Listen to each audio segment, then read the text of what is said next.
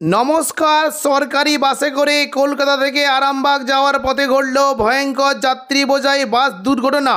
হুগলির তারকেশ্বরের কাছে একটি অটোকে ধাক্কা মেরে নিয়ন্ত্রণ হারিয়ে বাসটি রাস্তার পাশে ধান জমিতে উল্টে যায়। খবর পেয়েই ঘটনাস্থলে পৌঁছে যায় তারকেশ্বর থানার পুলিশ ও উদ্ধারকারী দল।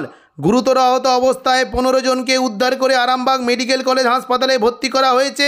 কোথায় ও কীভাবে ঘটলে এই ভয়ঙ্কর বাস দুর্ঘটনা, সবই বিস্তারিত আলোচনা করব এই খবরে।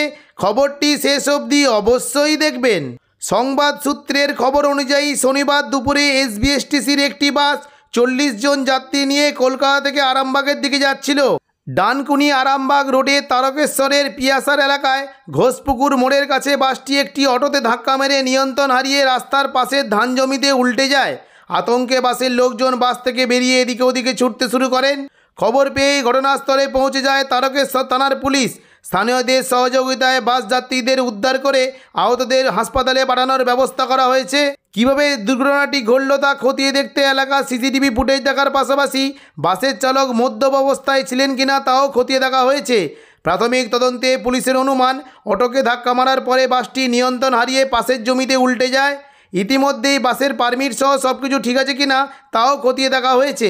দুর্ঘটনার জেরে এলাকায় তীব্র যানজটের সৃষ্টি হলে পুলিশ প্রশাসন এসে পরিস্থিতি নিয়ন্ত্রণে আনে। ভয়াবহ এই দুর্ঘটনাকে কেন্দ্র করে রীতিমতো চাঞ্চল্যকর পরিস্থিতির সৃষ্টি হয়েছে এবং আহত ব্যক্তিদের, যাত্রীদের পরিবারে নেমে এসেছে শোকের ছায়া। এখনকার মতো খবর এখানেই। পরবর্তী আপডেট পাওয়ার জন্য চ্যানেলটিকে অবশ্যই সাবস্ক্রাইব করে পাশে থাকা নোটিফিকেশন বেলটি অবশ্যই ক্লিক করে রাখবেন। আর যদি আপনাদের এই খবরটি ভালো লাগে, তাহলে লাইক ও শেয়ার করতে ভুলবেন না। ধন্যবাদ।